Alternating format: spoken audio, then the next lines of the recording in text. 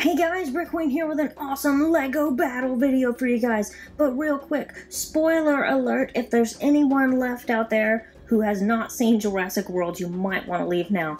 But for those of you who have seen it or don't care about spoilers, let's continue. We have, obviously, the Indominus Rex right here, and the Mosasaurus. Now, for those of you who have seen the movie, you know how it ends. But my question to you is, is it possible that the Indominus Rex may have survived? And before you're quick to answer that, let's think about it for a minute. The Indominus Rex, we know, has cuttlefish in it. What else might it have? It may be able to breathe underwater just fine. It might be able to swim. Who knows? The fight may have continued. Who knows how it truly, truly ended?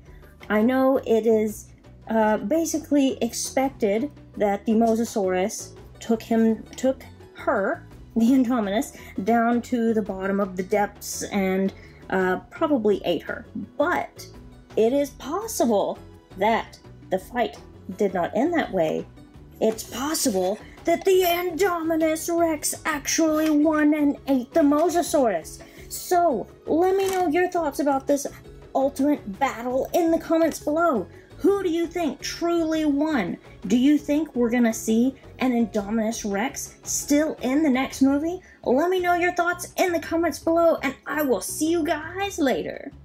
Click here to check out more of our recent videos, and don't forget to subscribe.